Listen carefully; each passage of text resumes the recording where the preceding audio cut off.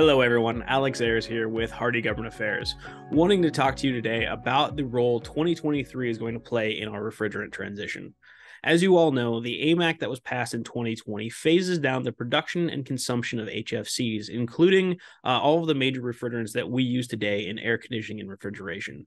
That means that 2023 is really an important year for us to prepare for this transition, uh, as 2024 is our first major uh, reduction in production of HFCs. So, with that reduction in in HFC uh, refrigerants, we're going to need to prepare for this next generation of refrigerants that will come into play, and that means A2Ls or mildly flammable refrigerants will start being used in air conditioning equipment very soon. So for contractors and distributors, this means making sure that you are trained on A2L uh, refrigerants, whether that is from a third party or from your uh, equipment manufacturer. Also for distributors, preparing to uh, receive bulk shipments of A2Ls and cylinders, uh, along with pre-charged equipment. So it, it's really important for uh, everyone to spend 2023 preparing, whether that is going through training or getting your your updated occupancy permits for your warehouses, uh, making sure that you understand what's um, what's going to be required as this transition goes on. Uh, and that's going to be partially accelerated by the changing state uh, uh, building codes, uh, where more and more states are adopting A2Ls uh, earlier uh, than than what was maybe expected a couple of years ago. And so, what this does is it ensures that we have enough places to install A2Ls for that first major step down. The other side of that is also making sure that we have enough reclaim and recovery. Uh, so it's very important to recover as much of the older HFCs like R410A as possible, so that way we have a adequate supply of reclaim moving into the future years, uh, and making sure that no one is forced to replace any equipment early due to a lack of supply. Hi, my name is Phil Johnston. I'm the general manager of the Environmental Business Development Center at Daikin Applied Americas. When talking about refrigerants, I have three recommendations for contractors and other industry professionals heading into 2023. To start, get up to speed on exactly what is shifting and when. The U.S. Environmental Protection Agency granted certain petitions that suggest alignment with the state of California transition dates, but the EPA's final rulemaking will be published later in 2023. The first major change will happen as early as January 1 of 2024 when refrigerants with a global warming potential, or GWP, at or above 750, such as R134A and R410A, can no longer be used in chillers for comfort cooling. Direct HVAC systems like rooftops, ground source heat pumps, mini splits, and VRV transition at later dates. The second thing, get familiar with the replacement options. The replacements for R410A are Group A2L refrigerants, but not all A2Ls are alike it's important to look at the performance characteristics of each refrigerant. For example, what's the refrigerant charge, the thermal capacity, or the efficiency? Beyond GWP, these variables have a significant impact on total life cycle climate performance and total life cycle operating costs. With this information, you can help guide your customers to the ideal option for their application. Lastly, seek out training. Organizations such as the ESCO Group, ACCA, and RSES offer training on the new refrigerants. These groups and the education programs they provide are a fantastic resource. You're also going to see a wave of new products with low GWP refrigerants from manufacturers throughout this coming year, and most will have corresponding training. It'll also be valuable to get engaged with your local sales offices, your partners, for detailed information and support. That's it for me. Thanks for your time. Have a great 2023. Welcome, everyone. This is Chris Forth with Johnson Controls regarding an important regulatory update. Today's topic is the recent EPA announcement regarding the American Innovation and Manufacturing Act, which pertains to the phase down of HFCs and specifically the technology transition proposals, which industry submitted uh, more than a year ago. While we are expecting and have been waiting for this announcement, there are a couple of notable surprises you should be aware of.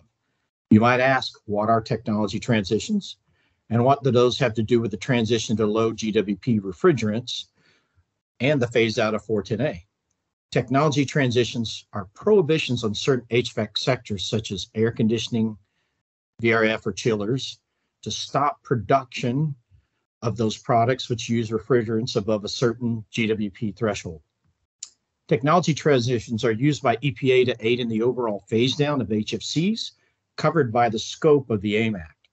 In this case, EPA is proposing that the air conditioning and heat pump sector stop production of new equipment beginning January 1st, 2025. And I emphasize this is for new equipment.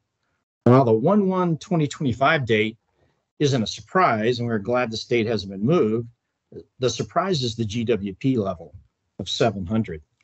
The industry had petitioned uh, petitioned to AHRI to request a maximum limit of 750, not the 700, and the 750 aligns with California and, and other states. Uh, so, not sure why uh, EPA went with the 700.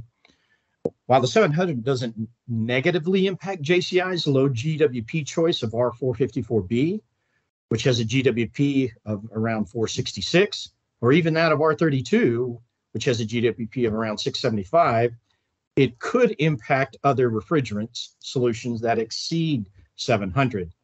Of course, the lower the number, the better, and the lower number could help EPA achieve its ultimate reduction targets. The bigger news, however, is that EPA is also proposing a one year prohibition on the sell through of equipment, in this case 410A.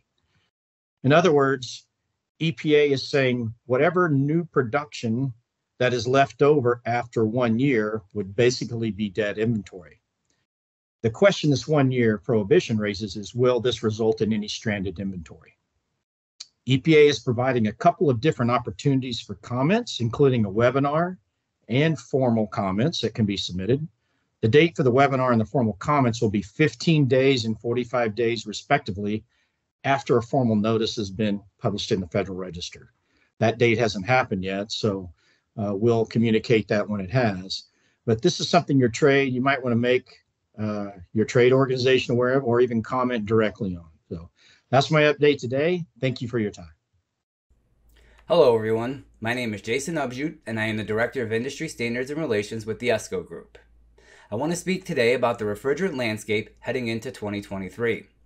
As you may or may not be aware, the HVACR industry is currently going through an HFC phase down.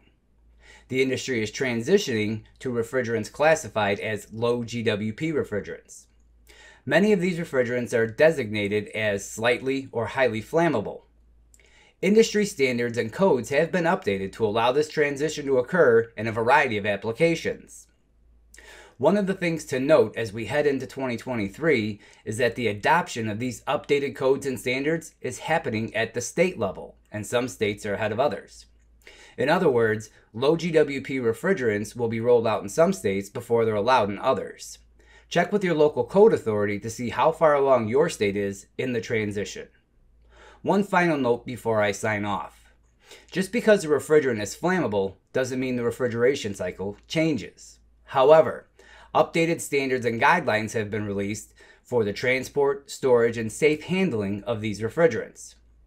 Seek out training on these refrigerants. Continuing education is an investment in yourself and your future. Thanks for listening and make it a great day.